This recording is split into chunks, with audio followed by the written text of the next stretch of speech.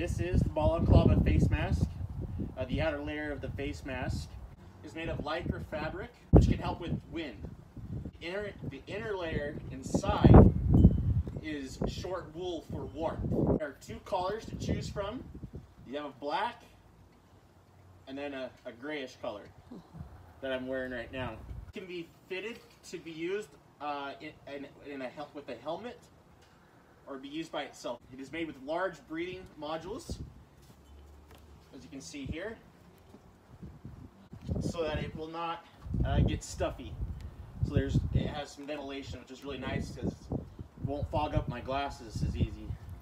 It's great to use while working, hiking, hunting, and any outdoor activity.